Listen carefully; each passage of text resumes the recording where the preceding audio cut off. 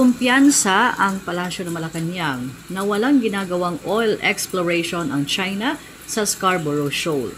Ito ay kahit na may natagpuan na ocean bottom seismometer na mayroong Chinese characters sa Scarborough Shoal.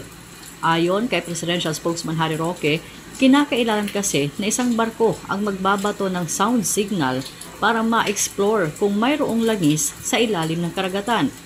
Sa ngayon, sinabi ni Roque na sakali mang totoo ang ulat at naberipika, maghahain ng kaukulang reklamo ang Pilipinas laban sa China. So for now, uh, we're confident na wala naman pong exploration na nagaganap dyan sa Scarborough at kung meron naman po, uh, and if we can verify it, then we will file or do the corresponding action. Sinabi ni Roque na masasabing espekulasyon pa lamang ito.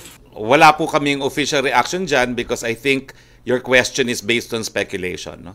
As far as we know po, binabantayan natin yung mga barkong naglalayag dyan sa Scarborough Shoal at wala naman pong nare-report sa atin na isang uh, um, barko na ginagamit for exploration purposes. No?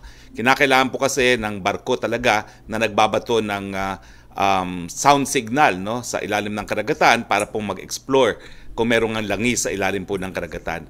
Wala naman pong ganong uh, report na nakukuha. Kasabay nito, sinabi ni Roque na sa ngayon wala pang balak ang palasyo na pagpaliwanagin ang China.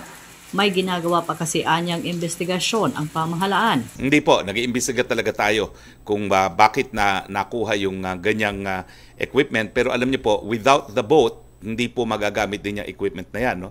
So ang tinitingnan po natin ay eh, kung meron talagang mga barko na naglalayag dyan for the purpose of oil exploration.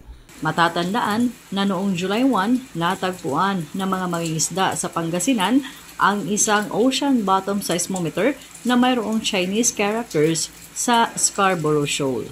Naglagay ang mga mangingisda ng isang payaw o artificial reef para makahuli sana ng mga isda pero sa halip na isda, ang ocean bottom seismometer ang kanilang nakita. Sa ngayon, wala pang pahayag ang China kaugnay sa nasabing insidente. Chona Yu, Radyo Inquirer, Bayang Nagtatanong, Mamamayang Nag-uusisa.